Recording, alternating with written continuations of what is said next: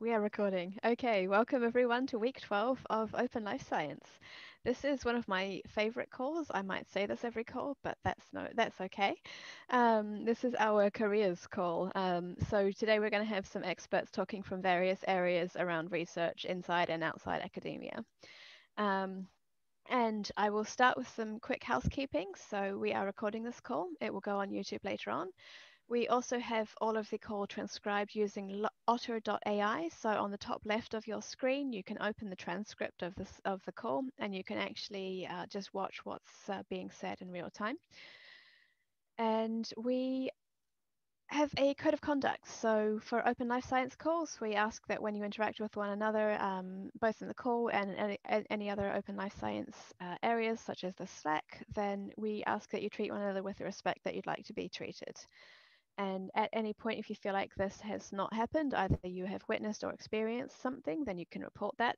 We have some contact information over on the first or second page, actually it's the third page of the sign-in of the agenda sheet. Um, this can be emailing team at openlifesci.org, which re reaches all of the organizers, or you can email any of us individually because um, sometimes you might just want to reach out to one person on their own and all of our email addresses are in the document. Um, so today is a little bit different from many of the many many of the calls. We don't actually have a breakout room today. We have a silent reflection towards the end of the call, but largely we have presentations from our speakers. Um, so with that, I am actually going to hand it over to Maya, who's going to be introducing our first two speakers today. Maya, over to you.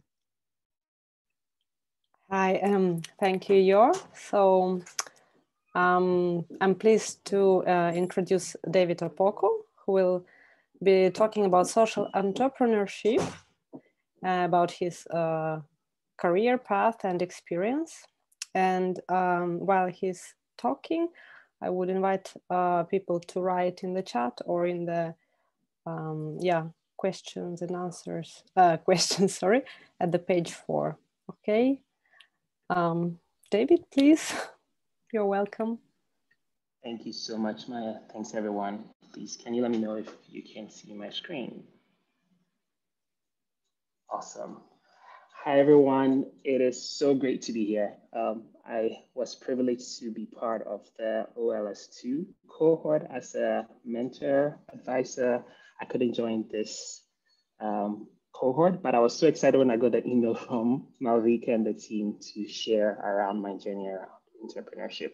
So I'll be spending the next five to six minutes just talking about how I ended up here, just giving some um, anecdotes, um, and then hopefully later during the question and answer session, I can answer some questions too. So my name is David Selassie Opoku.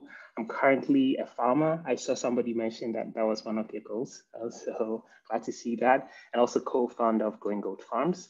And also recently um, a fellow at the Stanford Digital Civil Society Lab, where exploring issues around African food sovereignty.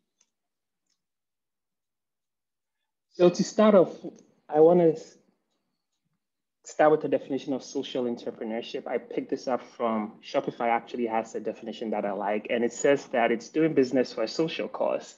It might also be referred to as altruistic entrepreneurship, interesting.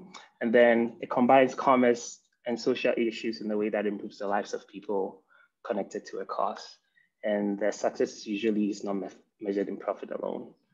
Um, but then you ask the question, shouldn't all entrepreneurship be social then? Because everything should benefit people. So I tend to generally look at it as entrepreneurship should, should be social.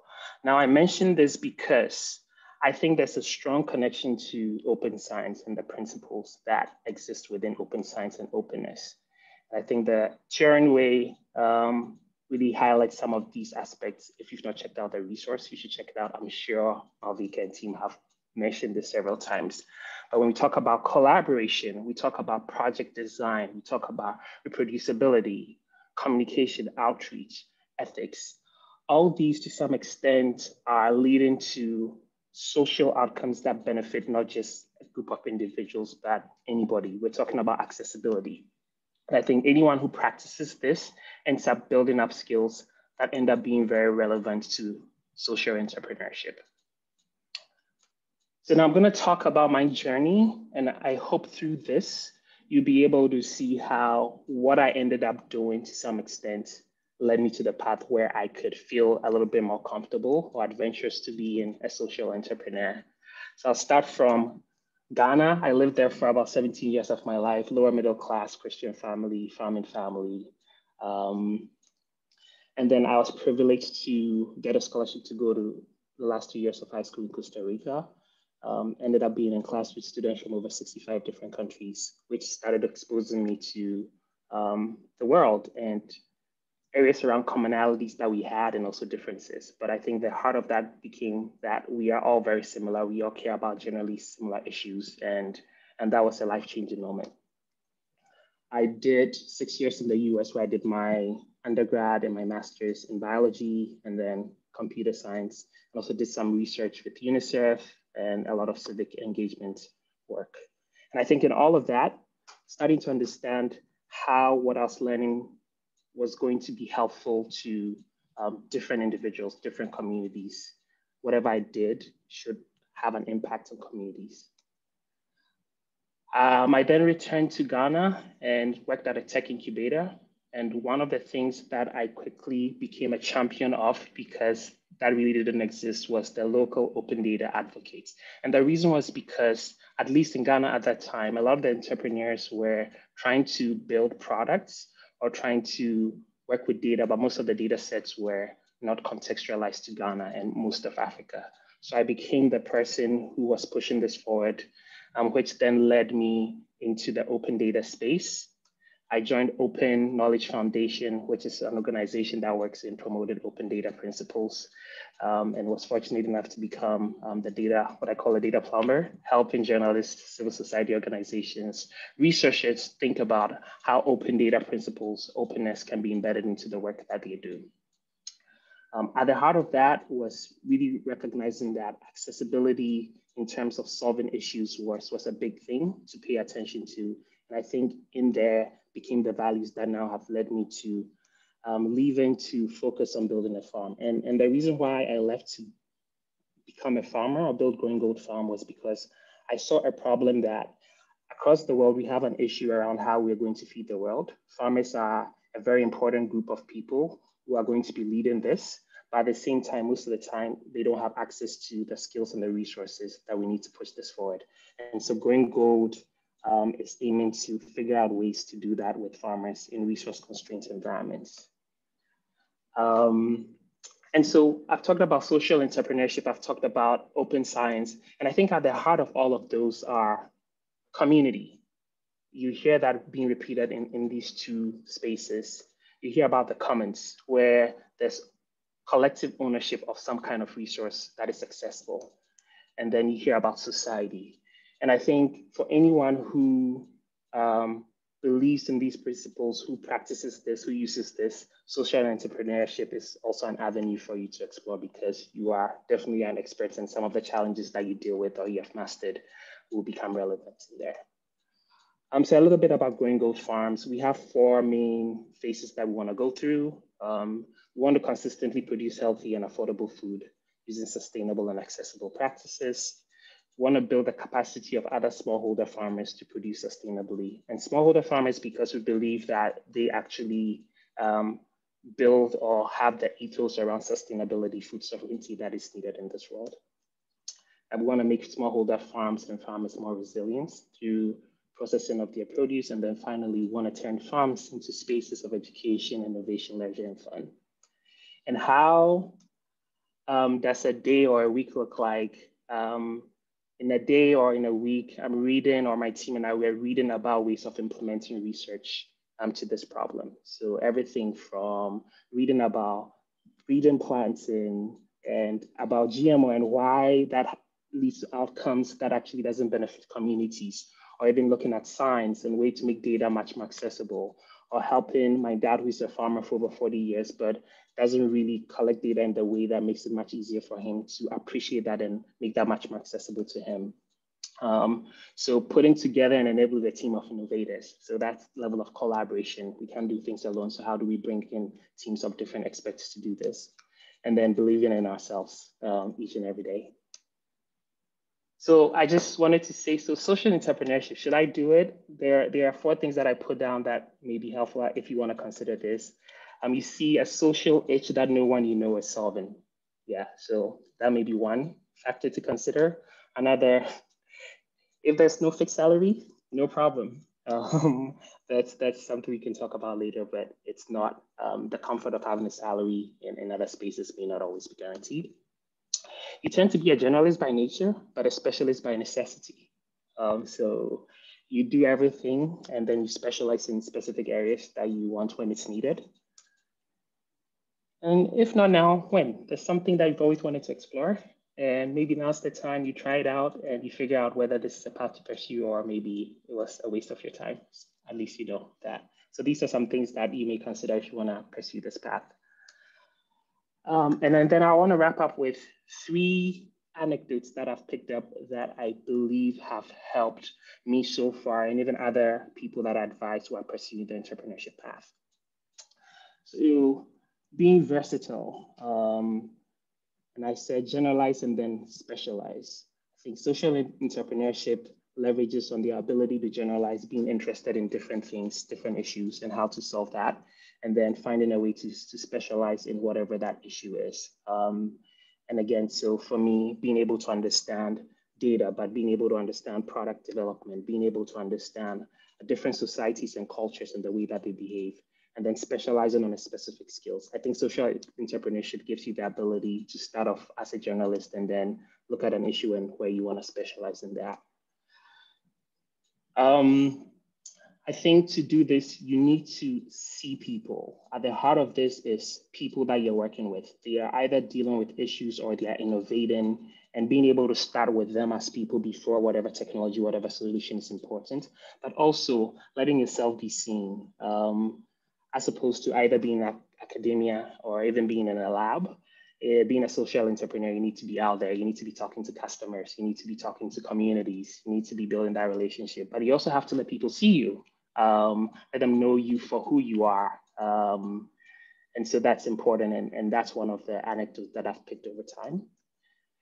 And then this is kind of uh, a joke, but ground your, your identity in your job. Actually, do not ground your identity in your job um, your job will go, but who you are as a person wouldn't. And I think being able to find ways to um, thrive outside your job, whether it's as a social entrepreneur, whether it's as somebody who is in a company, who is in a university, in a lab, letting your identity not be grounded in that because that could always change is a valuable thing that I've learned. Um, in the past, maybe six months, there have been many opportunities that I have failed at, I have not been accepted in, and learning um, that that is not what my identity is. My identity is beyond that has been something that's kept me going. So with that, my last thing that I'll say is that breathe. The most important thing, especially in this time of COVID, is your life.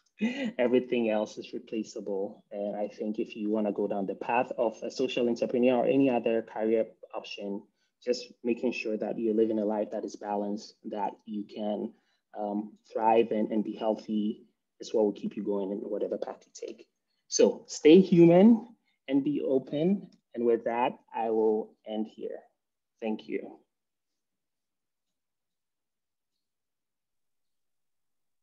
Amazing. Thank you so much, David. That, uh, as always, was just an absolutely incredible talk, um, leaving me feel feeling just inspired.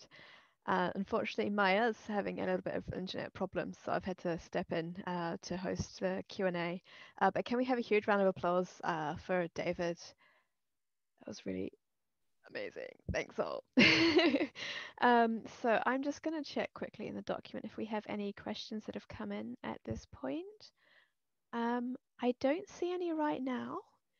Um, in that case, we can always leave a we have a Q&A panel towards the end, so we can, I guess, just move on to our next speaker. Um, no, thank you so much. Uh, so, Thomas, are you available and ready? Yes. Can you hear me? We can hear you, yeah. Um, so we have Thomas here today to talk about the Open Lab and Makers movement, and I think we're really excited to hear from you. Okay, thank you very much. Let me uh, share my screen. I have some slide for you. Okay, can you see my screen? Looks perfect. Okay, yes. Uh, my name is Thomas Mboa. I'm uh, from Cameroon. And um, my background is in uh, biochemistry, uh, specifically uh, uh, molecular biology. So I got a bachelor degree on molecular biology. And then I I studied science of education and I get I got like two master degrees in science of education. And then I did my PhD in um, uh, in public communication at the University Laval in Canada. So uh, during all my academic courses, I was always always impressed by uh, information, how information can be uh, uh, shared, how information can be reused. And um, that is why from this interest, I encountered the open science movement eight years ago with uh, uh, through the OCSDNet, Open and Collaborative Science uh, Network. And um, from OCSDNet funded our project. Our project was uh, Project SOHA, uh, a project to promote open science in French and in French speaking African countries and Haiti. So that is how I build uh, my network through organization working in on uh, open access, uh, uh open hardware, and uh, any kind of uh, openness, open or any kind of dimension related to open science.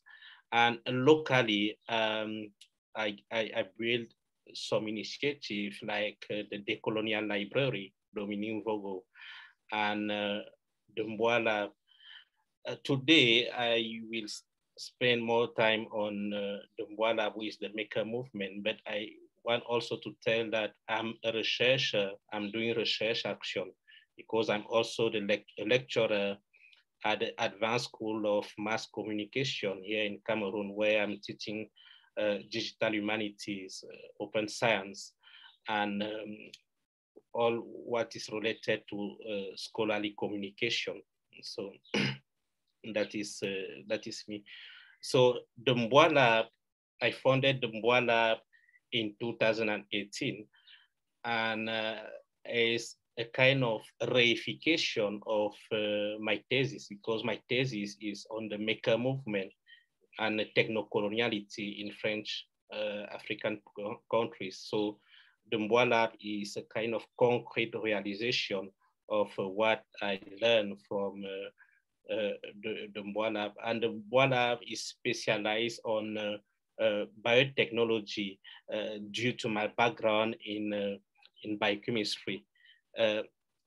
So what we are doing at the Mboa Lab, we have like related to public health and biotechnology, we have a three main activities. Can you hear me? Hello, you, yeah, yeah, we do hear you. Okay, thank you. Uh, so I, we have like three uh, main uh, uh, activity related to public health. So the first one is a very complex one, local production of enzyme and reagents. So that is a high level of, uh, uh, of molecular biology, if I can say. And um, what we are doing, uh, we are producing enzyme locally because when I stopped my study in biochemistry 16 years ago, it was mostly because I was impressed by molecular biology, but they told us that we cannot do it from Cameroon, from Anna, because equipment and reagent are so expensive. So when I encountered the open science movement, movement, I realized that through openness, there is a lot of uh, things that I can uh, overcome, a lot of barriers of uh, present in my past that I can overcome and help uh, a new generation, generation of African and uh, Cameroonian to to succeed in uh, molecular biology. So uh, we are producing enzyme for molecular biology, and currently we are so we are selling the, those enzymes uh, in Cameroon, in uh, in Ghana, where we have some collaborators, and um, everywhere in uh, Central Africa when someone uh, need enzyme. So that is uh, like the, the, the, the deep uh, uh, molecular biology part of uh, our work we are doing in the, at the Mboa lab.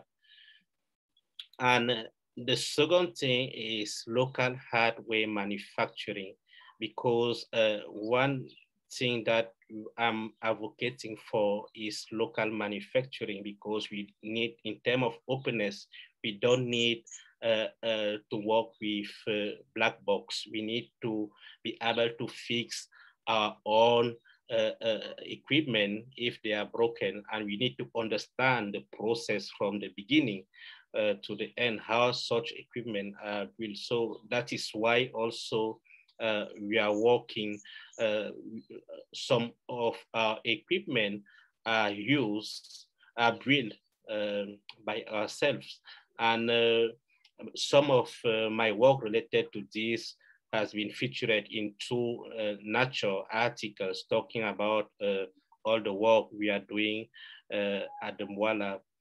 Our third activity is capacity building because it's very important for us to build a new generation of uh, Cameroonian and um, and uh, African able to understand to, trust, able to trust in themselves and able to build uh, things from uh, Africa, from what we are doing. So we are teaching, we used to, we are working with local university. So we used to host intern, we need, we used to train them uh, through a, a workshop. And but it's not easy because we have uh, uh, uh, uh, some challenges and funding is the first one because we are depending of international collaboration sometime and um, the there is a kind of lack of lack of local awareness and support. So we are trying to overcome all this kind of uh, uh, barrier. And also very important is some barriers like language barriers. I'm sure that you have understood that I'm not, English is not my primary language, but um, I have, uh, uh, French is my, uh, I have, I did all my studies or my school in French. So French, if I can say, even if the two language are colonial language for us, but uh, French is, I'm fluent in French more than in English. So that sometimes also it can be a, a barrier for uh, for us and we we don't have the, the, the, government support also so it's very important to have the government support but here it's very difficult but through the good uh, vibes we have and the good collaboration we have at, at international level we are still uh, uh, sustainable through the research development we are doing. And uh, yes, this, just to say uh, thank you. This is a small team, the small team of the Mboa Lab with uh, some women and me here. Uh, that is the permanent, the permanent and the Mboa Lab. But, and we have a lot of volunteer and intern, but here is the five permanent of the Mboa Lab doing all the, the magics and the work so uh, thank you very much for your keen attention. Amazing. Thank you so much, Thomas. Can we have a huge round of applause for a very, really, really fascinating talk? So um, I know we've been having some questions popping in through the doc. Uh, we had some coming through for David. Um, I think since we have some time, there's probably time for one question uh, at the minute. So I'll just ask um, Thomas, we are asking here, um, how, has, uh, how, how have you built capacity for French-speaking researchers? So for French-speaking researchers, we are doing a lot of uh, translation. So when we have uh, resources, and open educational resources or a protocol available, uh, you will see that a lot of our resources are in French and in English. So that is uh, mostly what uh, we are doing. So it's like we are doing all the protocol twice in English and in French. yes, it's a lot of job, uh, but we need to do it if we don't want to to to to put away uh, some part of uh, the Cameroonian population. As you know, Cameroon is a bilingual country, English and French, but I'm French Cameroonian. that sounds like so much work. Um, that's really incredible. Um, folks, bring keep the questions piling in. Um, we will come to the rest of the questions towards the end when we do the panel. Um, I am going to pass over to Malvika. I think you're hosting the next uh, speaker. Yeah. Uh, thank you for the wonderful talks. Uh, the second, the next speaker we have Zulidyana. Uh, she's from Malaysia, and I just want to give a shout out to Helia, who's been helping us uh, identify a lot more speakers from uh, Southeast Asian community. And I'm really excited to have you on the call, Zulidyana, uh, to you. Uh, hi, Malvika. Uh, actually, I come from Indonesia. I'm so sorry. oh, it's okay. I'm so sorry. Yeah. Uh, we just a neighbor. Uh, Would so, you like to uh, share your screen? Okay, let me try to share my screen. Okay. Uh, uh, is it appear there? The Perfect. That... Yeah, looks great. Okay, let me make it into bigger screen because probably it better to not having a slideshow. So uh, first of all, I would like to say thank you for having me here and telling stories about what we do during these five years uh, about science and journal managers in Indonesia. Uh, for introduction, my name is Zulidyana Rusnalasari. You can call me Lydia or Diana. Uh, I'm a public relation officer of Relawan Journal Indonesia is a non-profit organizations to help to gather people and sharing their knowledge uh, and uh, what we are different from the others non-profit organization because um, actually when we started, we don't know much about uh, journal publications, academic publication, and so on. We are growing together, learning and sharing and updating all the time. That's why uh, in a, the title, I call it, it's, it's a never-ending learning because we always do the learning process from the beginning of the organization and until now. So first of all, I will tell you about the story about Indonesia during these five years. So we have the mega publishers in journals and academics. Uh, there are several very big publishers. Uh, they really dominate almost all subjects, uh, even in Indonesia, even we have the language barriers. So as you know that English is not my native language, I am Indonesian. Uh, but because I learned about English literature and so on, uh, so I can uh, through those uh, language barriers. So pardon me if my English is not really good, but I will try my best to explain you about the stories about journal managers in Indonesia. We lack of sources um, and we also lack of support. That's why it's like uh, we, we were in 2016, we started this organization like uh, some people in the dark room uh, and we have to, and some people in the dark room, and we close our eyes. So even when our eyes is opened, we still cannot see anything. That's why we have to make the light itself by sharing. So uh, this picture is created by uh, Mr. Erwin that will be uh, present next week. Uh, our local and national publisher is just like this and we are surviving until now and we are still growing and the number of uh, journals in Indonesia is growing very fast. And this is not all journals in Indonesia is about business, but mostly we share because we want to participate. So that started in 2016. There were changed in government regulation in scientific publication for from printed to uh, online. So uh, they gather, people gather information from trainings and meetings. But sadly at the time, those training and those meetings are very expensive.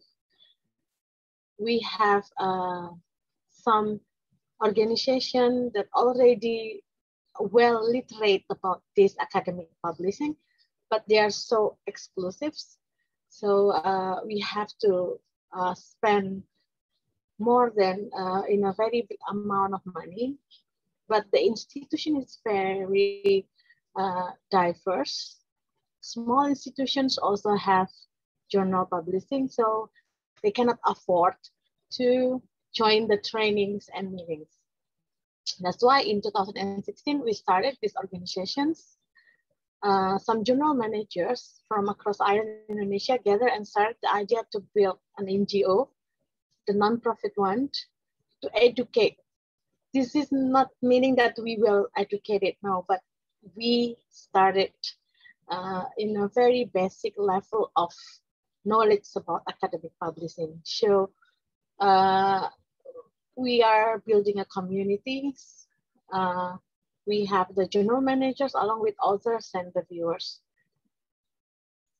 And in 2000 and, uh, 2000 and, uh, 2020, when we when we launch our uh, one of our we will launch one of our uh, publications program uh, we have these pictures from outside the organization. So uh, Mr. Edwin is drawing this, but actually he is not part of our organization, but he was saying that uh, as an organization, we have the skills, we have the knowledge, and we have the public support. That's what uh, power us because uh, we want to, let's say, uh, have research that really engaging to all people, not only for those in academia, but also for society. And it also can influence the government in the long run. But the potential that we have uh, in the corners of Indonesia, in the corners of thousands of islands in Indonesia, should have already known by peoples, not only from the academic publication, but also for all people that becomes, for example, like teachers, uh, lecturers, students, even those who are claiming themselves as researchers. Because uh, we have a challenge that when we read about sources, mostly sources are uh, in English. But actually the sources that already in our country haven't published yet. So the language barrier becomes a homework for us. But we're dealing with that because many of uh, people in, in the organizations are volunteer. They are giving their time, they're giving their energy, and they're also giving their ideas to building up this nonprofit organization. So if we talk about open science in Indonesian journals, technically, practically, mostly because we are using OJS as the platform by PKP. But the openness itself actually started because we are volunteers that getting together. We are growing for only a bunch of people. Now we have more than 200 volunteers around Indonesia in 30, uh, in a, in for, uh, sorry, Indonesia have 34 provinces. So in each provinces, we have representation, representative person who manage to be the person, the PIC person that probably if people need help can contact this person. If this person cannot uh, afford to help them, they can contact us in in the center of Indonesia to uh, to come to their cities or their town. We work together to assist journal managers. This is very challenging because uh, not all people, it's very limited people in Indonesia uh, has computer literate. They also have the language barrier. So technical problem, internet connection, and also the literacy becomes our problem at first in the during three years we uh, start our training by building awareness why academic publication is important for us why writing in academic way is important why people has to read why so those basic ideas and skills are everywhere. It's just like a very big homework for us. But this community now uh, become place to find answers because we have a platform. We built a platform that people can register log in and ask. Because those 200 volunteers already there to answer the question for all, all around Indonesia. So they can drop the questions. We answer. We also provide a YouTube tutorial. We also provide text, examples, and so on. In many sources, we also use Zenodo to, uh, let's say, keeping our uh, documents so everybody can access. We, we also uh, have I said uh, before COVID, uh, I usually we also going places in Indonesia to have training, meeting them face to face and uh, train them how to uh, manage a journal, an academic journal. We provide even and mostly free of charge because now uh, during COVID, all of them are online. So these events is regularly, like uh, once in a week. Sometimes we do it once uh, in uh, two days, for like series, for example, like we collaborate with the OIG, uh, we collaborate with them. So we can, let's say, having series of training. Uh, the baseline that make us always growing is culture of sharing because uh, this sharing, even the knowledge is very limited in one person, but we share it. And this part of little knowledge that we have, and, and then it's also uh, joined with the others peoples that also probably just little knowledge. Those little knowledge becomes a mountain of knowledge. Academia, researcher, librarian, etc. Everyone, everyone who concerned about academic publication journals, uh, usually they becomes our big supporters. And we collaborate to grow. RJI as uh, Indonesian Journal Volunteer Association, because we are non-profit organization, the concern is more in management the scientific journals in Indonesia. And to support it, we collaborate with ORCID, we uh, have a good member of ORCID and four of the Crossref ambassadors from Indonesia are RJI volunteers, uh, including me, becomes the Crossref ambassadors.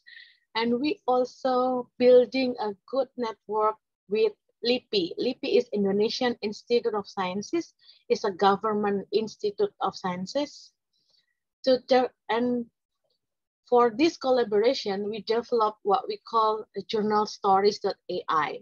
This is the platform still in building. I mean, it, it haven't launched yet because uh, we plan to launch this platform in uh, June, in this June 2021. This platform becomes a hub between scientific journal managers, scientific journal management association, and scientific associations. So to we have different point of view here in Indonesia because uh, we don't we don't actually we don't really comfortable with the rank from SCImago, for example, because we don't really comfortable with that. We create our uh, network by uh, also uh, bringing up the scientific associations. So the ones that we believe that uh, those people in associations, in scientific associations, are people who can, uh, let's say, they can judge whether this journal has to improve in what way. Uh, is it a good journal or is it a, a journal that need to improve improvement?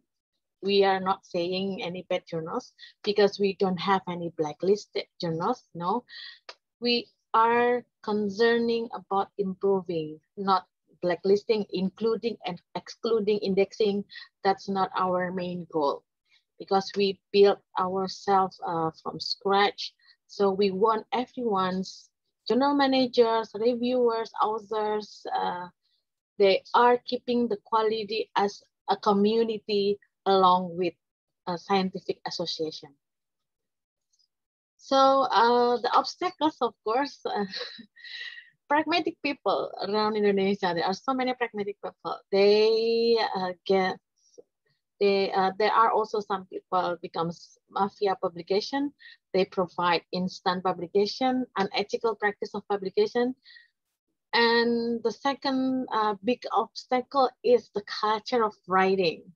Indonesian people has a culture of speaking and telling stories, but they are not really good in writing actually. Writing is uh, one of our biggest obstacle to get in touch with the publishing in academic. And the third obstacles is the competition among education institution. For because uh, you know uh, there are so many competitions uh, because of the rank and that make us compete most but most of the ways actually is the sometimes it's not appropriate. That's why uh, in journal stories later we don't have any rank but we have stickers and labels just like we are doing in games. And in two in 2020 um, RJI as a non-profit organization but we can become the bronze sponsor for the OIJ. We have uh, more than 10 people becomes associate editors. And we have also uh, three people becomes editors in the OIJ. This is our milestone to participate in open science worldwide. And uh, RJI also become the biggest CrossRef affiliation in the world because even we started as community, we we be uh, we uh, we help more than five thousand journals in Indonesia and outside Indonesia that publish from 1,500 local publishers. So uh, we becomes, uh, the number is getting high and high because uh, almost all education institutions building their own journals publication. Uh, sometimes uh, probably this is bad, but actually we do it because we want uh, more quantity to start the quality itself. So we also, as an organization, we also build uh, unusual journals because this is an open journal. This is our pilot project. We call it PubLetter. The pilot project because we use open review. So the reviewers and the authors, uh, everything is open. The reviewers uh, can know, this is not blind review because the author knows who reviews their uh, manuscript and the reviewers also uh, participated uh, voluntarily.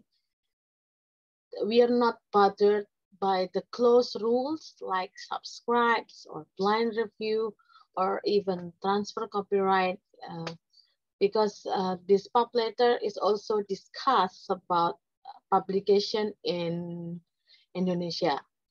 We also fund, uh, have a fund, uh, funding for research in academic publications.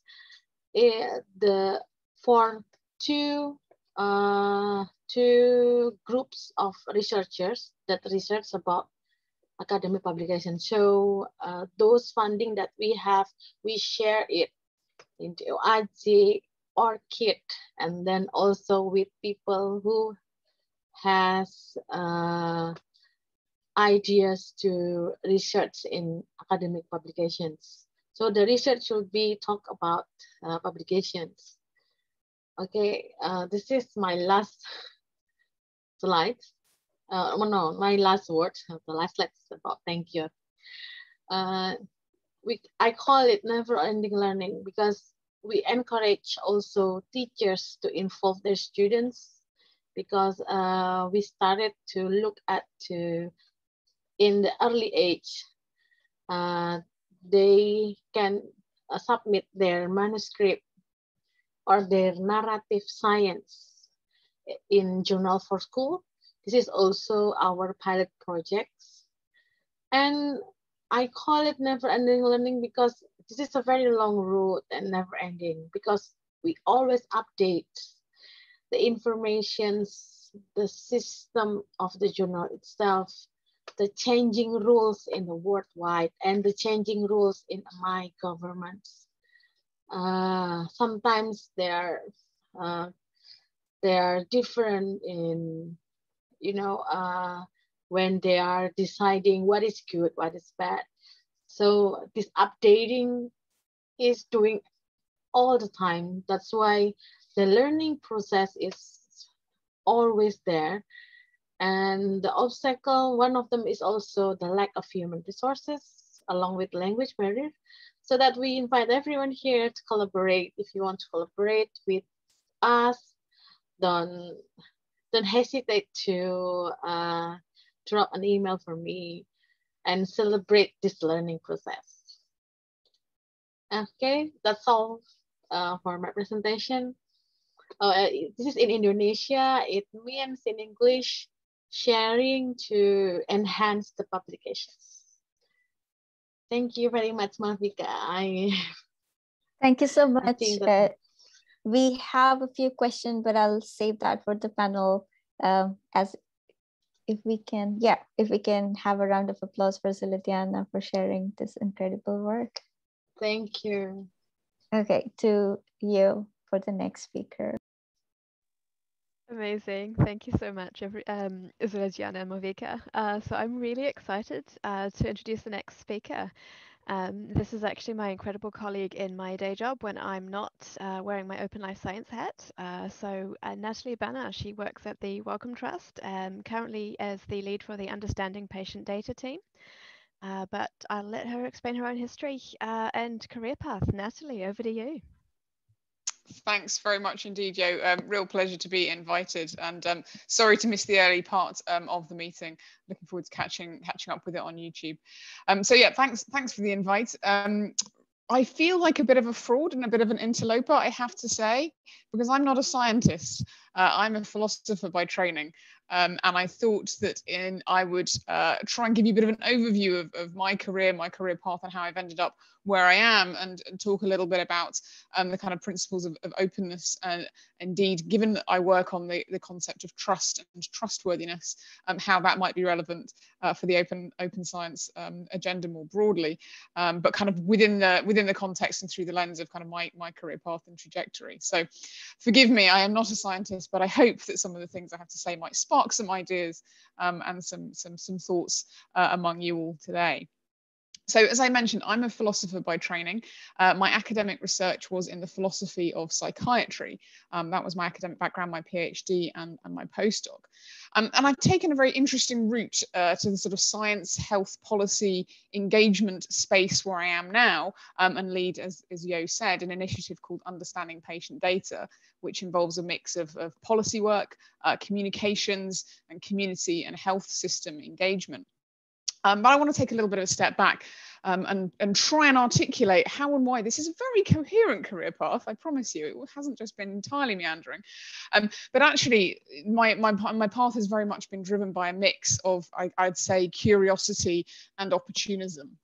Um, but I've always seen myself as being a bit of a bridge builder.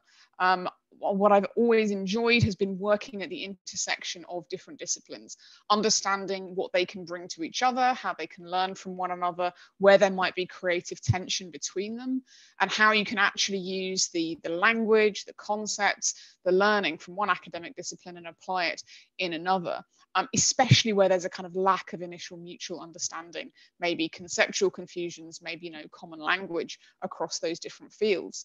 So I started off uh, working across philosophy and psychology.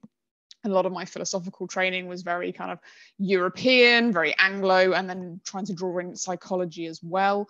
I then developed into, into the field of psychiatry and mental health and looked at how tools of analytic philosophy of mind and language and cognitive science um, could help inform our understanding of mental ill health and particularly the notion of decision making capacity, where and how you're able to make decisions um, about how you can be treated if you're suffering from a mental health condition.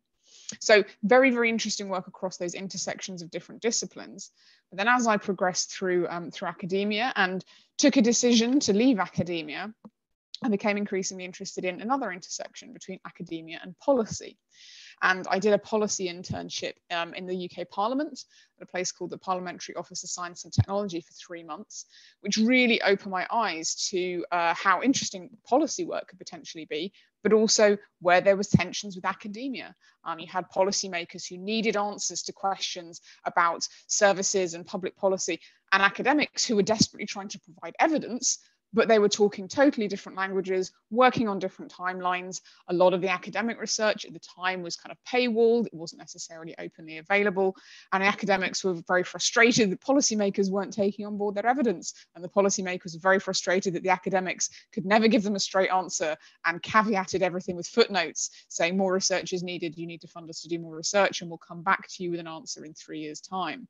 So again, really interesting intersection between those, those different areas as I got more involved in, in the policy world and joined Wellcome, um, I did a lot of work across um, in Parliament, uh, particularly in the House of Lords, um, in relation to the development and implementation of GDPR, the Gen General Data Protection Regulation that governs um, individual data rights in, in the EU. Um, I did a lot of work on global bioethics, uh, and particularly um, looking at how to set up um, uh, the ethics and regulation work that was being done in a uh, Pan-African Genetics and Genomics Consortium. And that was there that I got really interested in the ideas around data governance, um, particularly in genomics, where at the time there were many debates going on about balancing the drive for openness and open science and open data with the need to preserve and protect confidentiality, people's rights over their own data and there was a again a huge tension here um, between different different factors. Some people saying you know we need to open up this science as much as physically possible put all the data out there. And others saying well actually that there are you know some potentially really substantial privacy risks from sharing genetic and genomic data um, as widely um, as, as some wanted to. So you know again this kind of tension between different um, different mindsets and different views and different perspectives uh, which was something that, that really drove me on I'm now working in the space of, I guess, I guess policy and, and the public um, around the use of health data. And uh, this is an area that I've been working on for the last um, few years. And again, in, in, in, all of this, the principles of openness have been really, really critical. Um, because actually, I mean, you'll definitely see in light of the pandemic, there's a huge public appetite for information about, uh, about data, about how science works, about how science has led us to the vaccines, about the evidence we have for the public health uh, response that various governments have, have developed um, in, light of, uh, in light of the pandemic. The R number is suddenly something that all of us know about. Um, and that's never really happened before, but there's a large appetite among the public to learn more about the processes of science and how data is used and how insights are generated. And we do a lot of work on the notion of trust and trustworthiness in how data is used. And I think the elements of trustworthiness very much align with the principles around open science, um, which is very much about transparency, ensuring that information is meaningful and available and accessible to those who want to find it. Um, it raises questions about reproducibility. Can other people you know, replicate the findings that you're developing? But also, I think in addition, um, that might be of more interest to, to, this audience too, thinking beyond transparency, the idea of public involvement in shaping research. Um, because again, there's an appetite for people to actually be more actively involved in the development of research questions, in how science is conducted and disseminated, and the learning from it um, kind of shared as widely as possible. And that's particularly the case, um, I think, with given given COVID and, and the impacts that we've seen from that, where there are potentially communities and, and, groups who have not been typically represented or visible in data before, or they might even be, you know, over targeted and, and, and dis potentially discriminated against as a result of the use of data.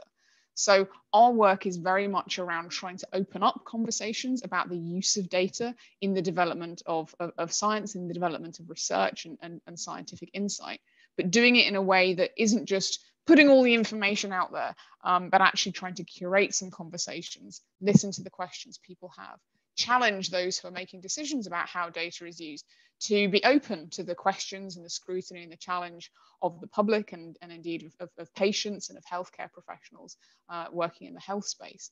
So that's kind of the broad um, uh, focus of, of, the work we do at understanding patient data. Um, and I think that uh, these the principles behind open science are actually really, really applicable to that wider uh, public debate and public appetite for further information about the way that science works, how data is collected and managed and developed and used um, to develop scientific insight. So hopefully I prompted a, just a few thoughts about um, how, how sort of you as a community, as an open science community, um, can and, and, should think about opening up kind of beyond science and, and academic disciplines to different and, and, wider audiences. I think particularly in light um, in light of the pandemic. Um, but I'd be really keen to you know to, to discuss more in the panel. I'm, I'm conscious of time, so I'm going to stop there and very very happy to answer any questions in the discussion. Thanks, Yo. Amazing. Thank you so much, Natalie. And I can see we have our round of hands coming in uh, for Natalie's really interesting and inspiring talk. So thanks, folks. I think my cat set up. Unfortunately, no cats available at the moment, but they may they may arrive in the next 20 minutes. I just have to say, uh, sometimes in our team meetings, a cat paw just sort of appears above the camera like this, and it is amazing. um, so, folks, please, um, if you have any questions you'd like to ask Natalie, please pop those into the um, document. Um, I'm actually just going to hand it straight over to Malvika so we can have some time for a panel discussion. Thank you so much, Joe, and thanks again for the wonderful talk. I'm trying to pin uh, the speakers in case folks are able to see them properly. Um, I have curated four questions for each speaker, um, and I'm going to probably just start with Natalie because it's quite fresh. Um, the question is, what can we learn from policymakers in building pathways for public debate to happen constructively and integrate their concern fairly in our work? I think this question mostly comes in the context that a lot of us are not very much aware of how policymaking happens in research and where different voices should be taken into account. Mm. Thanks. It's a really great question. I mean, the first thing to note is that, um, you know, as, as I said, ac academic, academic research and policy, they operate on different timescales. Um, they have different sort of levels of detail required. And actually, I think the most constructive way to engage with, with policy and policymakers is to understand um, what the different motives and incentives of, of those uh, of those policymakers are. What is it they're trying to achieve? And actually, that usually requires a bit of a relationship. It requires an understanding of um, of, of, the people involved and the institutions involved, as opposed to there being a kind of one-off I've got a research paper I think policymakers will be interested. I need to find the right person to, to, to plug into. Um, so a lot of these things take time and, and relations um, to develop. So I'd say that that's one of the key that's one of the key things. I'd also think about policy quite widely. I mean, most people think of policy and they think of national governments, but actually, you know, there, there are a huge number of, uh, of other organizations and institutions that have policy development. I mean, policy essentially means, you know, setting setting rules.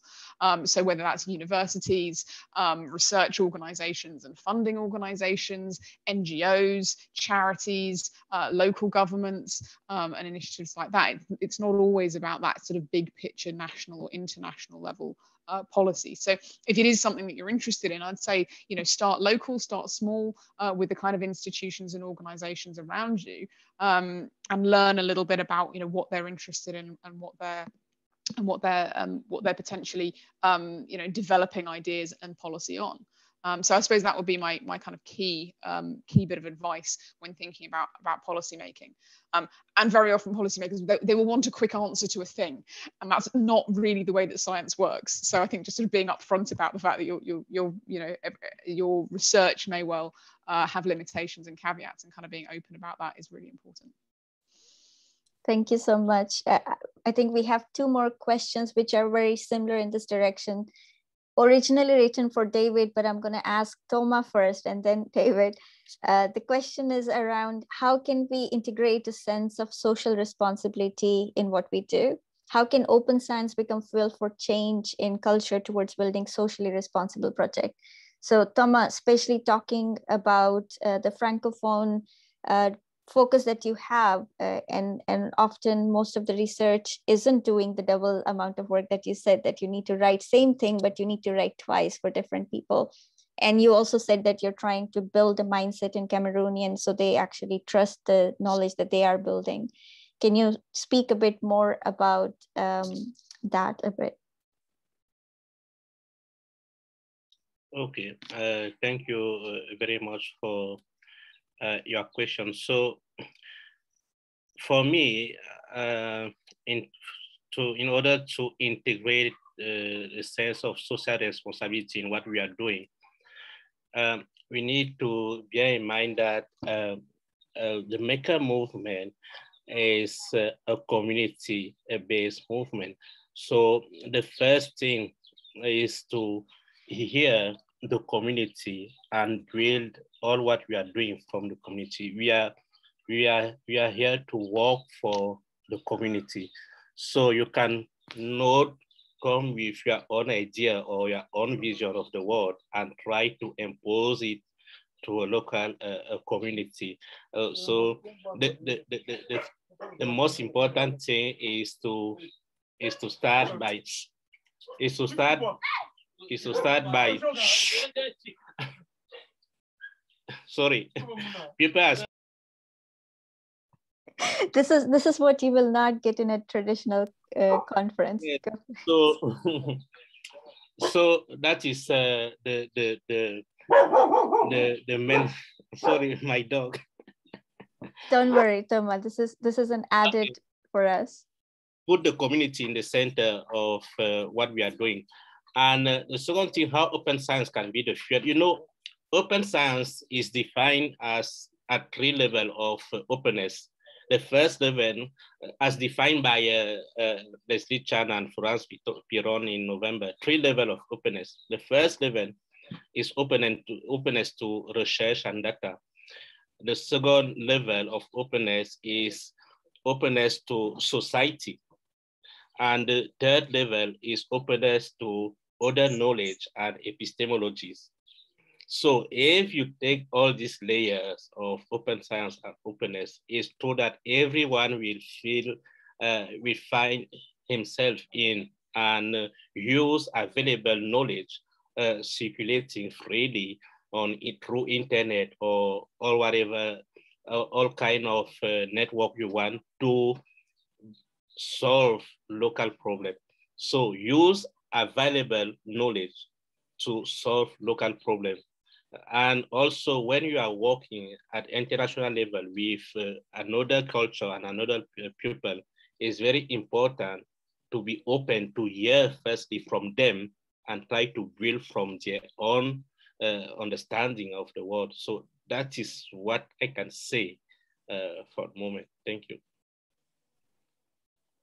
Thank you so much for that. Uh, David, building on exactly that direction, um, in, in addition to what Toma was saying, that when we build for community, we need to kind of abandon our personal worldview. Uh, there's a question which is quite in this direction that specifically in the farmer context that farmers have intimate and profound knowledge of their cro crops and environment, which is far more advanced than academic research alone. How can we as researchers showcase this to researchers and the general public?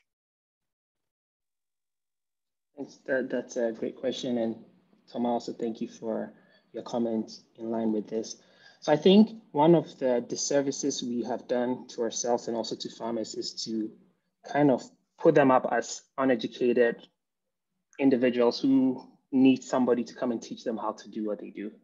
And I have been, I knew this, but I have been extra humbled when I joined my father, who's been a farmer for over 40 years. The level of not just arts, science that is required to be able to produce a crop is something that cannot be underestimated. The, the local awareness, the ability to figure out that I should plan for something, to be able to read the weather. It's both a combination of art and science that research alone will not be able to do. So I think for us as researchers, one of the first things, and I think in line with what Toma is saying, being able to embed ourselves in the community or with the people who are creating these solutions, in this context, farmers, understand why they do the things they do, why they do them the way they do them, right? and then think of research, data, technology, not as something that is going to disrupt, because we tend to hear that term, technology as a disruptor, as if whatever is existing is not already achieving good things, but more of technology and research as a way to elevate or to enhance what you're doing. And I think once we take that approach or we have that positioning, it is much easier for us to understand what kind of um, innovations farmers already have and how can the research we bring in allow that to become more enhanced. To give you an example, um, my dad and I, over the past one and a half years that I've been working much closely with him, we've been realizing that at least in Ghana, um, a lot of the seeds that we have are hybrid seeds being imported from different parts of the world. The outcome of that is that a lot of the seeds do not necessarily germinate to the optimum level that he used to see. So now we want to go back and figure out why is this happening? So now I go back and I look online and I see a paper from Nature that is talking maybe about the yam seedling. And now we are looking at the history of how the yam seedling came about and what are the pros of the cons. And I'm starting to explain to him why a seed that in the past when it was heirloom was doing well, but now it is hybrid and what are some of the deficiencies. And he's starting to appreciate it to the point that he's even reading things on his own.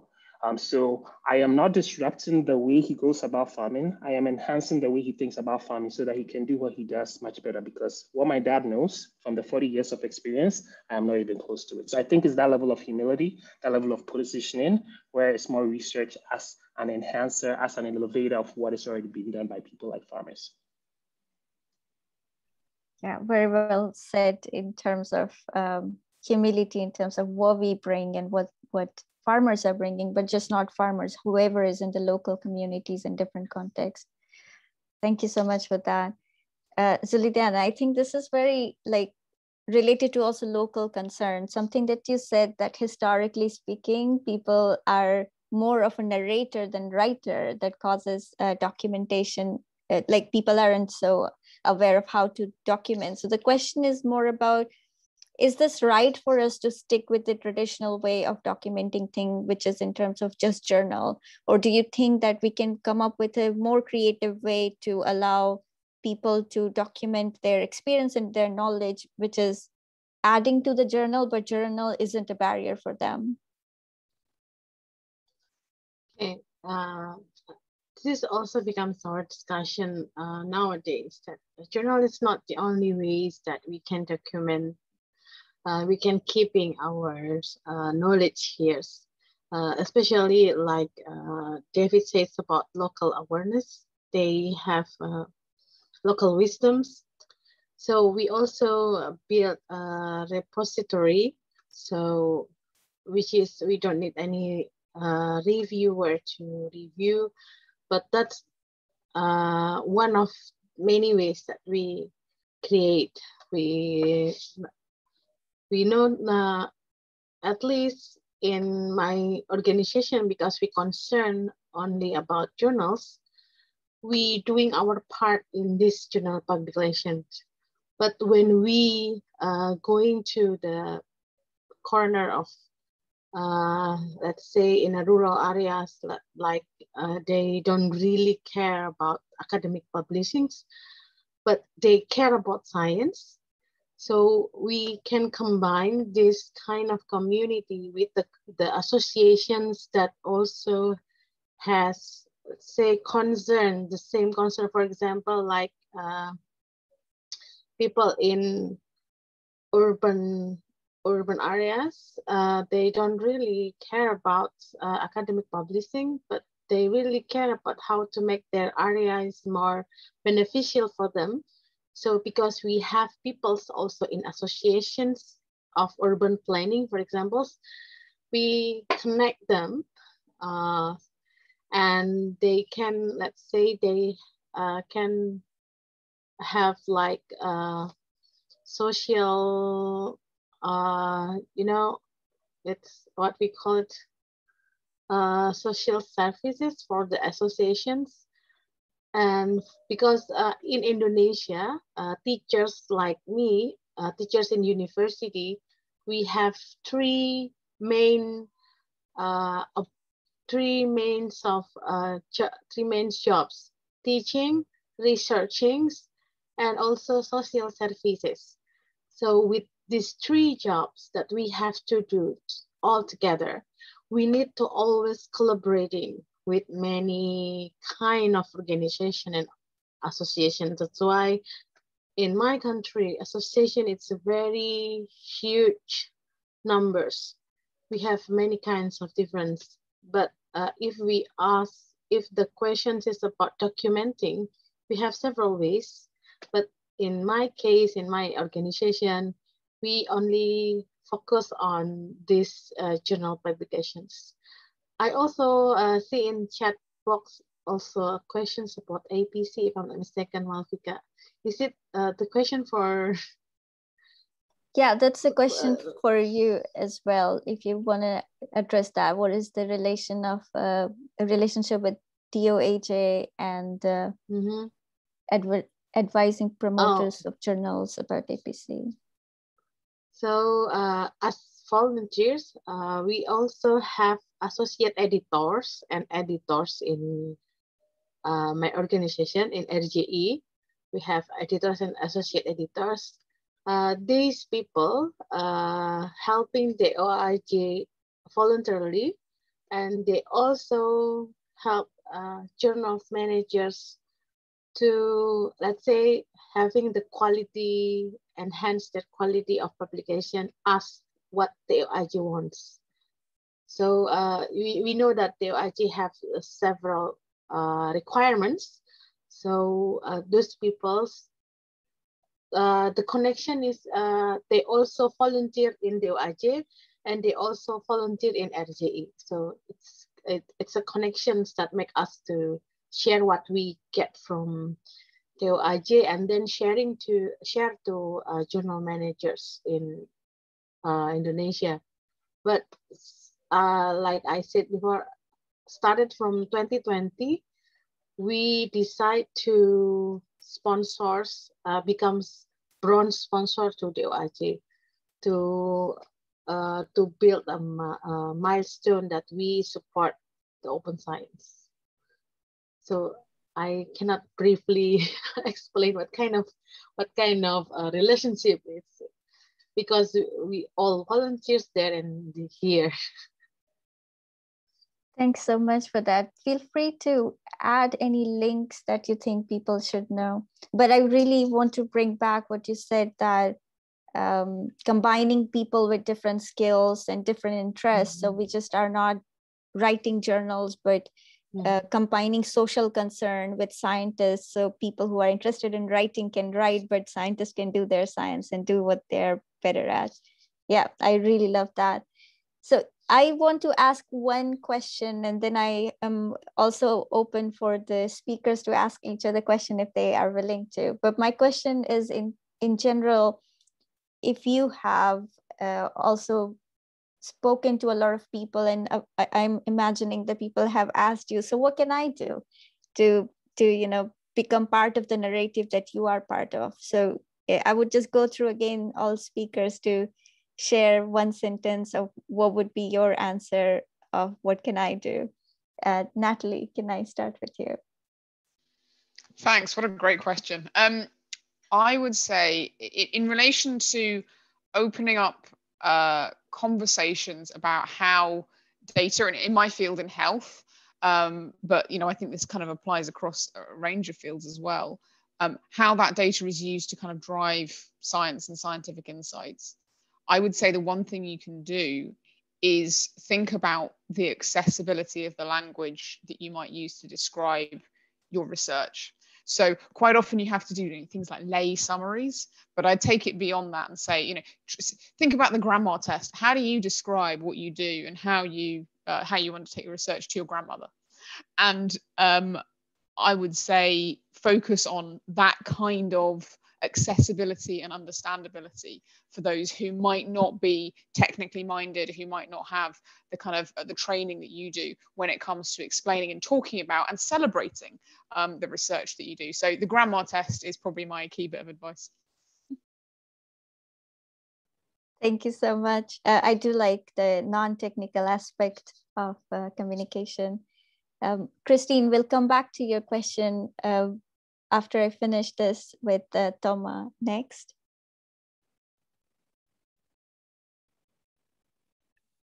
Okay, thank you. So the advice I can give to people who want to join or to build uh, open lab or makerspace is mostly don't put equipment before because the, the first thing to have is just the space and the community.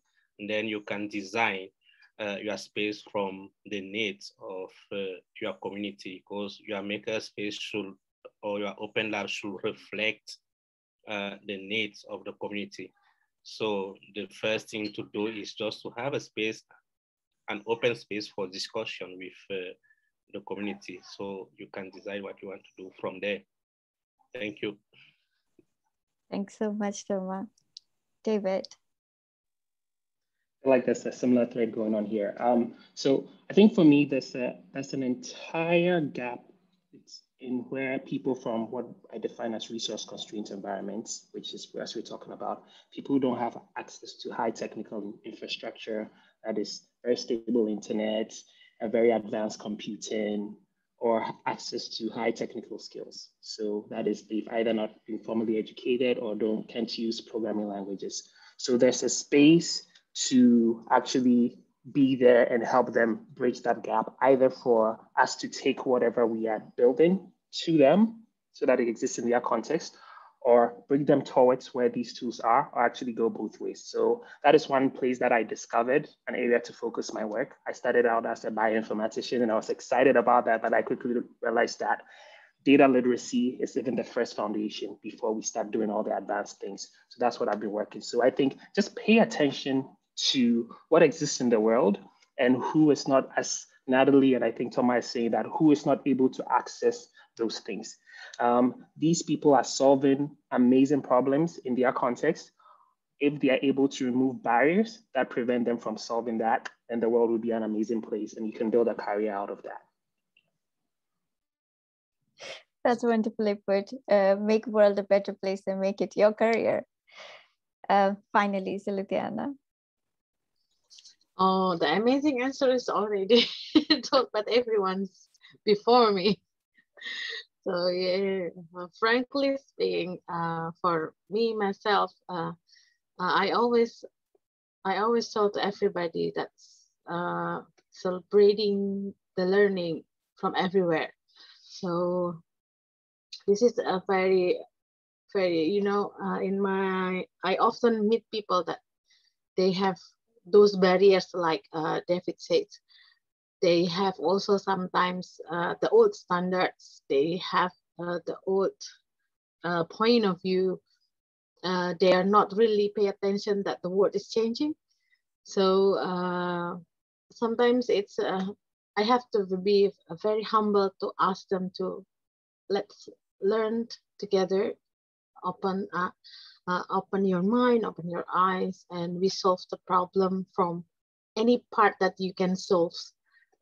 Uh, in that kind of part, while we are solving the problems, we will find what the great for our career actually. So before it becomes public relation, I really kind of uh, really passionate researchers, but uh, I found out that being a researcher is has to be not only research, but I have to tell to the world what kind of research that, that I'm doing. So I need uh, somebody else, or I need tools to tell to the world the research is about something that probably, uh, you know, uh, somebody else can duplicate or replicate my research or use it for the policymakers and so on. That's why uh, learning is always my best lines before decided because when we are solving the problem and we're learning, uh, sometimes we find the career appears just just like just like that. That's all for me, Malvika. No, wonderful. I think this really complements uh, all the speakers where we want to work in solidarity rather than subordination, mm-hmm. uh, bring people to the same level of equity in terms of knowledge and also maintaining the humility. Christine, would you like to ask question or should I go ahead as you're in the train? I love the view, by the way. Yeah, I, will, I will ask the question. So Christine has uh, asked one question for Natalie. Sometimes science has to inform politicians in situations where we are still lacking knowledge for definition de for definite recommendations.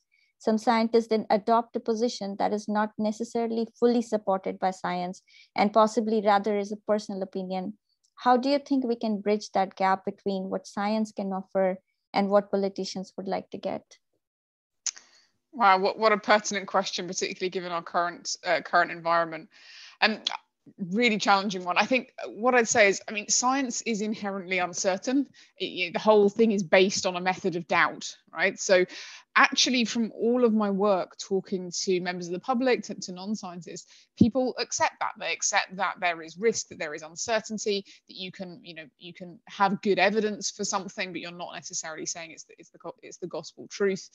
Um, and actually, they're very, very good at detecting when you're kind of being disingenuous or when you're lying or when you're kind of over promising or over hyping um, certain claims. Um, and and that in and of itself do, doesn't help build trust if, if it appears that you're sort of making claims that are based on certainty when they're really not um, so the fact is that actually for, for some scientists, there is a very legitimate ground to having a public debate. You say that some evidence suggests this, some evidence suggests that. Um, we don't quite know how to reconcile these things, but it is the nature of science that we will continue to challenge and question and, you know, hopefully, ideally, you sort of incrementally improve the knowledge base. Right? Playing all that out in a public sphere is really difficult though, because as, as, as Christine rightly points out, politicians want certainty, they want answers, they want fixes. Um, but I would say, in terms of what's what science and scientists can offer, it's that acknowledgement of a degree of uncertainty around findings, around results, and being and being straight with people because people will appreciate that. If you say something is 100% risk-free, um, and you know it's, it's guaranteed, no one will believe you. Um, but if you say, look, here is what we think, uh, and it's based on you know th- this evidence, and we can explain that, but we also acknowledge that there are some limitations to that, and subsequent research, you know, might might change how we think about this. that acknowledgement is generally seen as much more trustworthy by members of the public than a politician who overclaims things and nobody trusts politicians so i would say don't try and emulate their level of certainty um, because they're not trusted by anyone frankly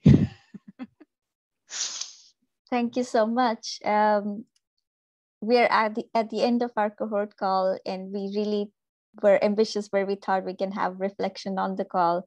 But i'm pushing that to our assignment and the assignment is based on all these conversations that we're having in the last 12 weeks and especially today in, in terms of where we want people to think about their own project. We would like you to take some time to think about what brought you to your work to open leadership what makes you feel motivated uh, what will you need to feel motivated for another five years and what will you need to stay motivated for rest of your career um, and with that i'd like to thank our speakers for fueling us with a lot of new ideas and, and helping us focus on what is important in the current world. Um, thank you all. Anything else? Uh, we would stay in the call for five minutes, but we will stop recording. Thank you so much once again, everybody, and especially the speakers.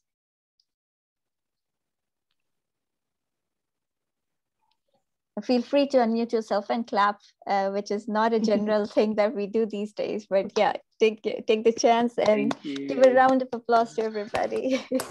Thank you.